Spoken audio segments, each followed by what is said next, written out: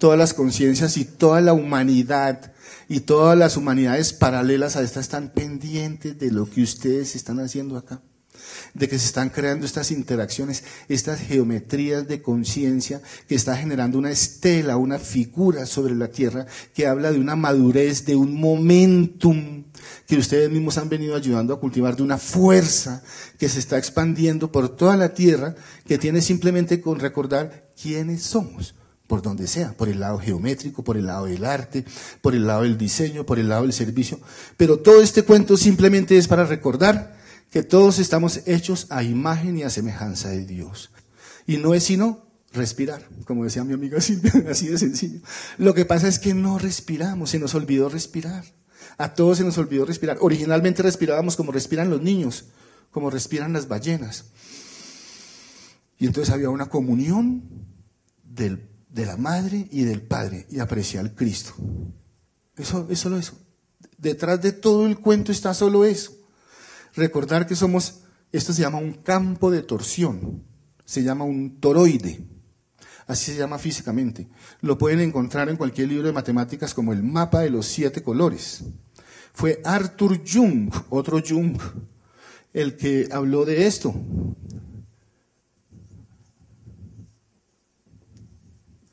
Entonces todo cuanto existe son donuts, rosquillas. Tú eres un tornado. Todos somos tornados. Tú eres un huracán. Si no, mírate un poquito y verás. ¿Cómo se ríe usted, no? Vale, cuidado y verá. Imagínese que todos somos tornados, pero ¿qué le pasa a uno? Uno cuando cierra los ojitos y entra ahí, ¡ay, doctor, me estoy mareando! O sea, qué miedo. Porque nos da miedo volver al centro de nuestro ser, sentir la comunión de los movimientos y sentir el flujo de energía por todo el cuerpo como tenemos pedazos prohibidos, pedazos que no se pueden, coco, no sé qué. Entonces realmente hay una esquizofrenia del embonamiento de nuestras frecuencias y todas esas frecuencias son anómalas en nuestra parte física, emocional, mental y espiritual. Por eso es importante recordar los arquetipos desde la forma, pero también estamos trabajando como el espíritu y el alma y toda la totalidad del ser. Todo eso tiene vectores. Dice la sabiduría popular que si usted se está ahogando en un río, que se deje llevar por el torbellino, ¿cierto? Todo eso, todos los abuelitos y uno oye, pero vaya a ver quién se deja ahogar, quién se suelta cuando se está ahogando, nadie, ¿no? Pero realmente todo este cuento tiene que ver todo lo que hacemos para tener una muerte exitosa y sueños lúcidos. Y la muerte exitosa es saltar al tornado sin miedo. Entonces, cuando lo vean, voten. Y ustedes que tienen ese recorrido espiritual, siempre, siempre arriba, y seguro que el maestro los va a recibir y le va a mostrar algo que nunca han visto en ninguna parte. ¿sí? Algo súper lindo, súper hermoso. Simplemente es un cambio de conciencia, meterse por un agujero dimensional y pasar a algo más inclusivo. ¿no? Entonces todos son tornados dentro de tornados. Nosotros somos estructuras disipativas, así dice la, física. Pero ¿qué es lo interesante de que seamos estructuras disipativas? Que con un pequeño estímulo que yo te haga a ti, bien sea a nivel físico, emocional o mental, yo puedo cambiar el curso, yo puedo cambiar el spin de un electrón tuyo y yo lo puedo catalizar por medio de la marea magnética de mi corazón y por la marea magnética de mi alma, de mi ojo derecho, de mis manos, de mi quinto chakra. Yo puedo producir un efecto, un fenómeno, no importa que sea un fenómeno, porque el fenómeno también tiene un no humano y también tiene un es decir, que tiene una parte crística y una parte que tiene que ver con el espíritu. Y hay ocasiones en que los fenómenos tienen que ocurrir. ¿Para qué?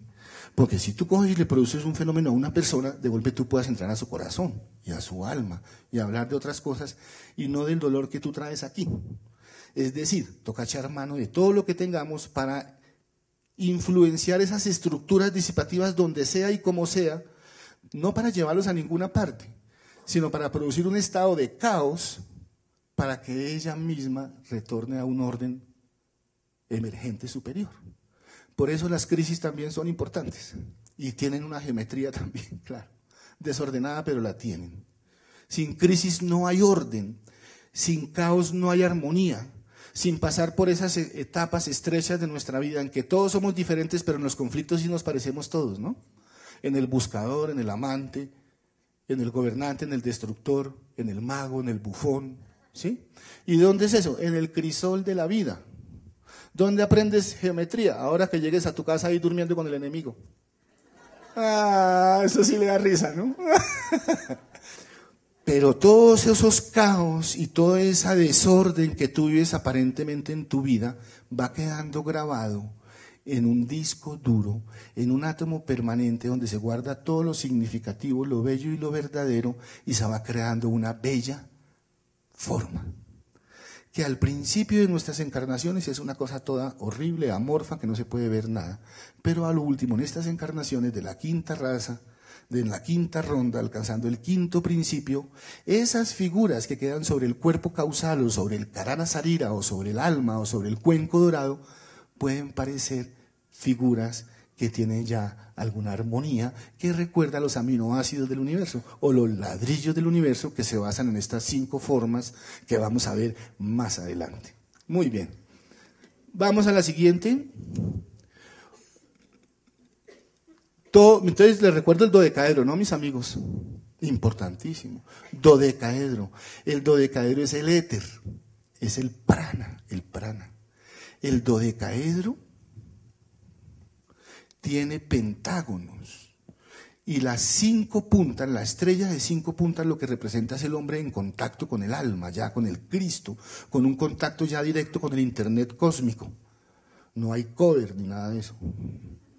¿Sí? Eso es lo que representa la estrella de cinco puntas. Eso es lo que representa la estrella de cinco puntas. Vamos a leer este antiguo comentario. En una de esas estanzas de Cian, dice, la madre es el ignio pez de la vida. Ella extiende su hueva y el soplo, el movimiento lo calienta y aviva.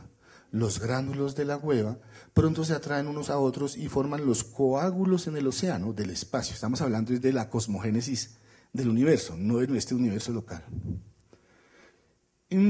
se reúnen y reciben nueva hueva en ignios puntos, triángulos, cubos que maduran y a su debido tiempo algunas de las masas se desprenden y asumen forma esferoidal, operación que se realizan solo cuando las, secretico, porque el maestro nunca da todo así mamey, sino que uno tiene que deducir algo, él da insinuaciones para que tú tengas revelaciones.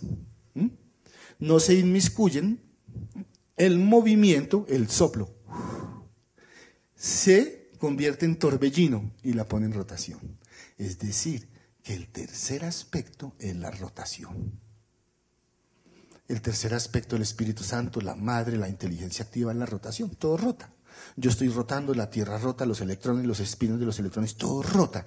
Esta, si ustedes observan, rota y tiene movimiento perpetuo, porque produce carga, porque produce inercia que es la definición de masa hoy en día, porque todo el mundo dice, bueno, masa por velocidad de la luz al cuadrado, muy bueno, desde 1900, muy bueno, pero C al cuadrado es la frecuencia vibratoria que Planck ya después metió todo el asunto de la frecuencia, ¿sí? Pero nadie se pregunta, ¿y la masa qué es? ¿La masa qué es? La masa físicamente hablando hoy en día es carga, inercia, es decir, lo que produce gravedad, lo que rota, la carga, esa es la masa la gravedad.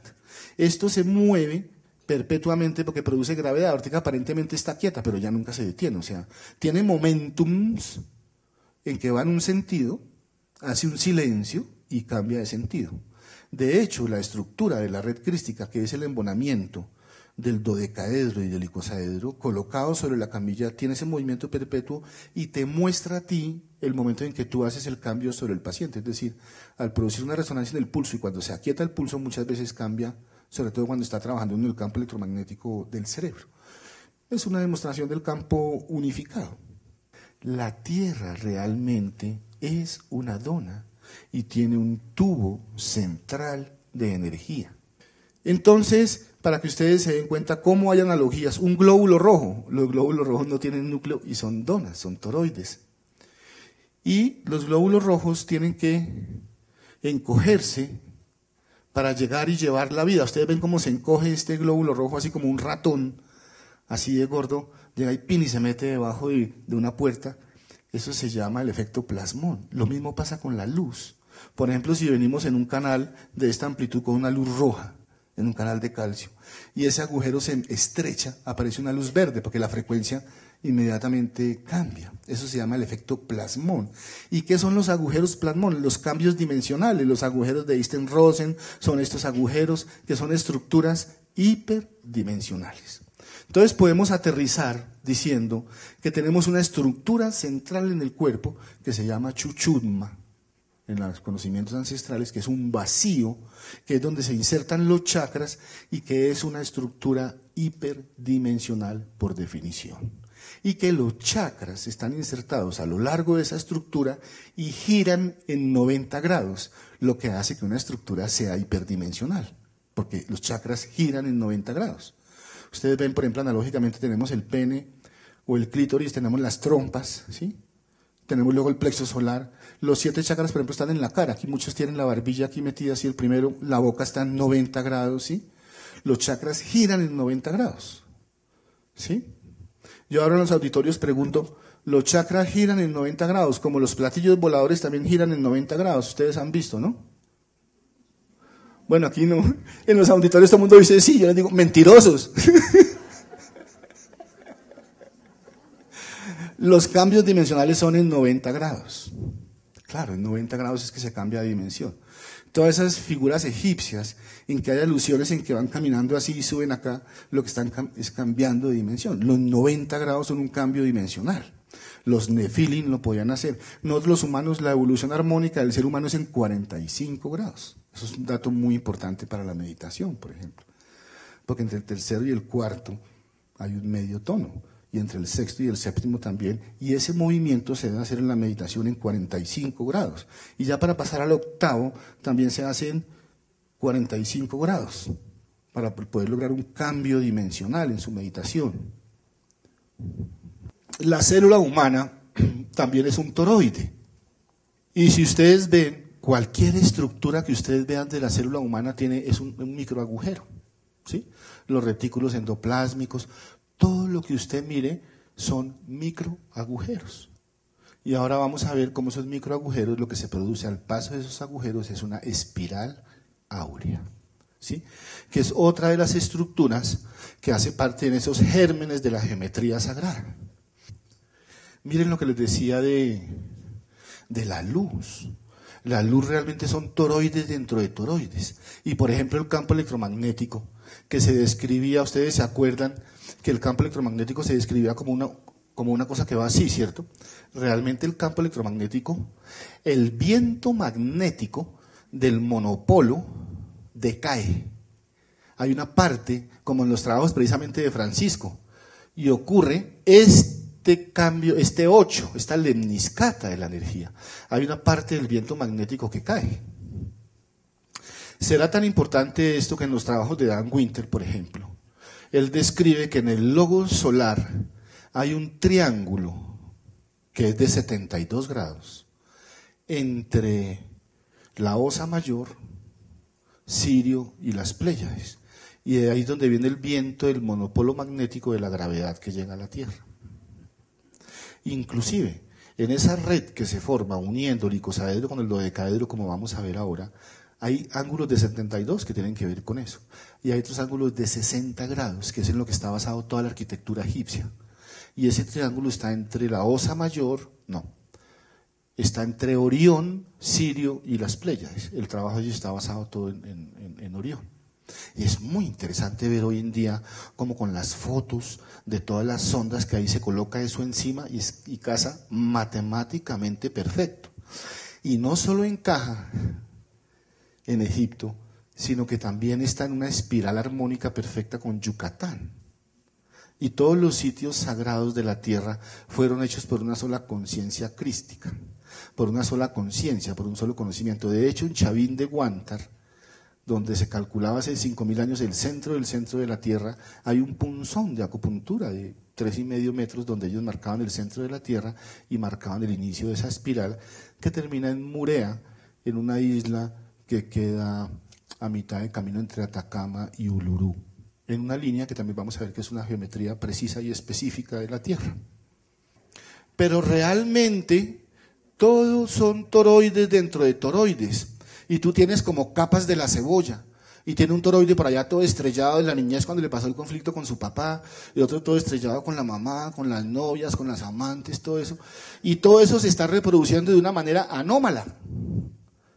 Entonces, ¿qué es lo que uno hace realmente cuando hace este tipo de terapias? Uno llega con una estructura que trata de estar en las proporciones y en las medidas, y cuando usted la pasa por electromagnético es como si el cuerpo le dijera, déjemela aquí. Eso es lo que yo necesito, déjemela ahí, ahí, ahí, ahí, ahí, ahí, ya. Listo. Y ya, eso es lo que pasa cuando uno encuentra el pulso, ¿no?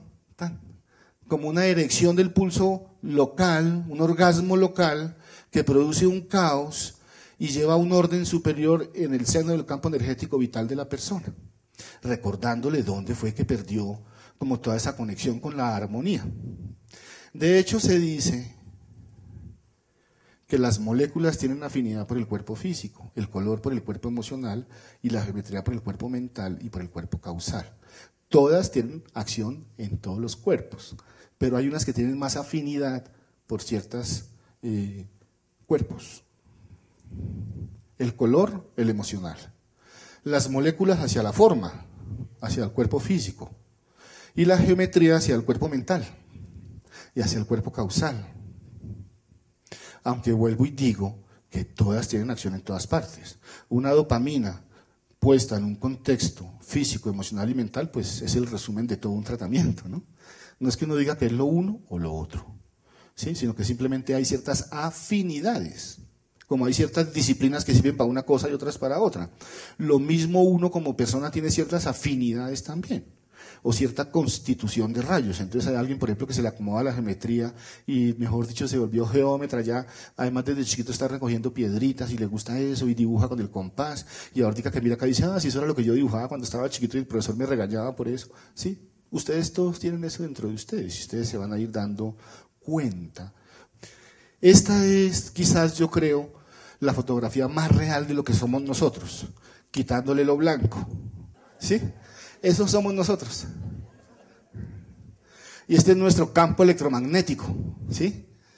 Y hay un gran toroide central en el corazón, que es cinco mil veces más poderoso que el de la cabeza. O sea que cuando usted realmente ya no puede hacer algo, usted se va y habla con el jefe. Y aquí en este campo electromagnético, en el etérico, también hay una reflexología.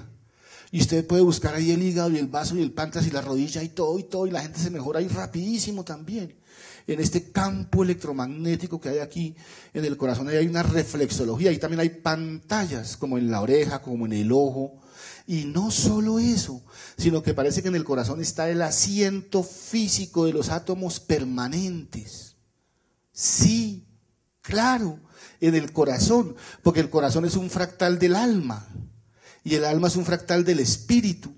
Entonces, ¿dónde está el primer aspecto? ¿En qué nodo? Y en la cruz no estará el segundo aspecto donde hay neuronas en el corazón. Y el tercer aspecto no será otro nodo, no será el asiento de los átomos permanentes el corazón realmente. Aunque el maestro dice, claro, que los átomos permanentes están en el etérico. Por aquí deben quedar en alguna parte. Porque el corazón es el rey. El corazón es el rey. El timo es el rey. Y esta para recordar que la constitución del hombre es séptuple, es decir, que tenemos un cuerpo físico, un cuerpo emocional, un cuerpo mental, que esos tres constituyen la personalidad integrada, siempre el tres y el uno. Y tenemos también un cuerpo búdico, un cuerpo átmico, un cuerpo monádico, que esta es la triada espiritual, que es un cuerpo búdico, un cuerpo átmico y un cuerpo monádico, que es la triada espiritual, y el cuerpo ádico. ¿Sí? A su vez esos cuerpos, todos los cuerpos son duales, es decir, que hay un físico etérico. Vamos a llamar el segundo cuerpo emocional, ya no más astral, y el físico.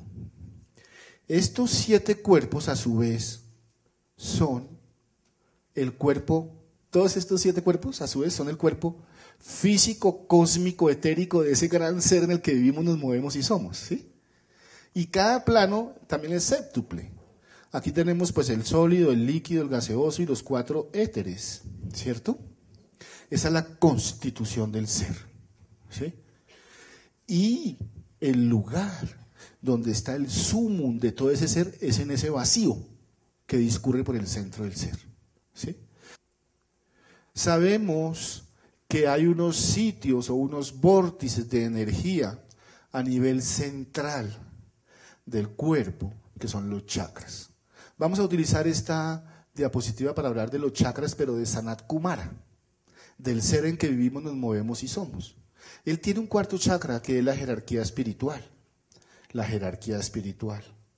La jerarquía espiritual es esa nube de seres excelsos que ya se han emancipado y nos ayudan a nosotros en el camino. Y hay un triángulo muy importante en esta época que es el de la humanidad, las almas, sí, mi mamá tenía razón, y la humanidad, las almas y la jerarquía espiritual. Es un triángulo que ayuda mucho en esta, en esta época. Pero quiero decirles que el cuarto chakra de ese ser es la jerarquía espiritual. El séptimo es Chambala. Mm. Él se alinea, alineando su cuarto con su séptimo con un sol central, en dorado, claro, claro. Sí. Ese es su séptimo chakra. El tercer chakra, imagínense ustedes que el quinto chakra de ese ser somos todos nosotros, es el ánima mundi. La humanidad toda es el quinto chakra de ese ser. El tercer chakra es el reino animal. El segundo chakra es el reino vegetal. Y el primero es el reino mineral. O sea que en el reino mineral yace la kundalini de Sanat Kumara, donde está la geometría perfecta, precisa, el brillo de la luz, donde está la presencia pura del espíritu en la línea del primer aspecto, en el aspecto geométrico de la forma. Tiene un tercer rayo que es el reino, un tercer chakra que es el reino animal, el segundo el vegetal y el primero el reino mineral. Pero me gusta que pregunten, el cuarto es la jerarquía. Y en el sexto en este universo local es Mercurio, que es el mensajero. Pero pueden poner a Sirio, si quieren.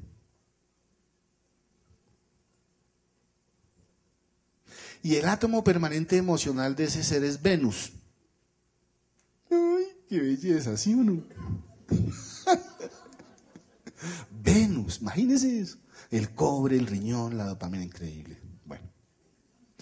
Pero lo más increíble de todo esto es que hay un dipolo de chakras entre Chambala y el reino mineral, que serían la epífisis y la suprarrenal de ese ser. Claro. Y hay un dipolo de chakras entre el reino humano y el vegetal. Lo vieron en las diatomeas y lo vieron ahí en el Señor de los Anillos y todos los arbolitos, los viejitos son los que ayudan. ¿Mm? Entre el segundo y el quinto. Y entre el tercero y el cuarto hay un dipolo entre el reino animal y la jerarquía espiritual. Es decir, que como decían nuestros ancestros, todos los animales son una medicina para el hombre y son una exteriorización de la jerarquía sobre la tierra. Increíble. Bueno, muchachos, entonces tenemos un canal central de energía que tiene un campo de torsión, que tiene, eso físicamente se llama un efecto Coriolis, bueno, mire, realmente esta es como la forma en que tú eres, esto eres tú. Y hay un canal central de energía que tiene chuchulma, ida, pingala, ¿sí? Y hay ciertos eh, arquetipos que se distribuyen alrededor de tu cuerpo. Y todo el universo lejano se recrea en ti. Y tú eres la vara para medir el universo. Tú eres la vara. Todas las medidas sagradas, todas las proporciones, Toda la, magia de la geometría está en tu ser, en tus articulaciones, en tus huesos, en los canales de calcio, en todo tu ser. Entonces entramos con el concepto de la espiral. Realmente yo, por ejemplo, al estar aquí hablando con ustedes, si no hubiera una espiral, todo está saliendo en una manera de una espiral. Y si no hubiera un retorno, por ejemplo, de espirales, yo tampoco podría ni siquiera hilar mi discurso ni hablar con ustedes. Todo cuanto se mueve, se mueve de una forma espiral. La espiral es una forma sagrada y hay que recordar que hay dos tipos de espirales que se presenta a confusión, que es la espiral áurea y la espiral Fibonacci. ¿Sí? La espiral Fibonacci, que también lo fue otro Leonardo, él también era un Leonardo muy inteligente y observador. Acuérdense que en el colegio nos enseñaron de la serie de Fibonacci, ¿sí? que es 1, 1, 2, 3, 5, 8, 13. 13, 21, 34, 55, 89, 140. ¿Se acuerdan? Pero es muy bonito eso. Porque usted cómo cree que crecen las hojitas. La hojita llega y sale una, sale la otra, sale la tercera, sale la quinta y no sabe para dónde coger. No sabe. Entonces, ¿qué hace ella? Mira hacia atrás. Mira a su pasado para saber qué tiene que hacer. Eso es lo que no hacemos nosotros. Nosotros ni siquiera miramos al papá ni a la mamá, mucho menos a la abuela y mucho menos a la madre tierra, ¿no? Entonces como que uno se carga. Pero mira de para atrás, mira de para atrás para saber hacia dónde crece. Y también las hojitas tienen otra cosa que se llama la filotaxis, que también tiene que ver con la física pura del fi, como vamos a ver ahora. El fi, que es la relación del texto y el contexto.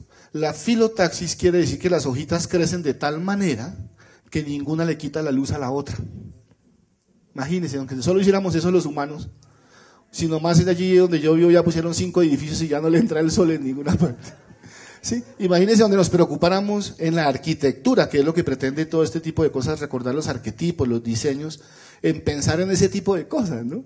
O por lo menos en pensar cuando tú vas a escoger tu apartamento si es que el sol le llega por la mañana y por la tarde o no, pero uno ni siquiera piensa en esas cosas, porque vive en otro rollo, ¿cierto?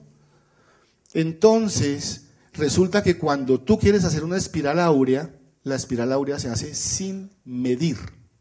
Es decir, yo puedo coger aquí a este, ponerle 5 y ponerle 8, y aquí me queda una espiral Fibonacci, pero no una espiral áurea. La espiral áurea se diferencia de la otra porque la áurea no tiene principio ni tiene fin. Rompe la realidad hacia lo pequeño y rompe la realidad hacia la grande. Esa es la que nos interesa a nosotros.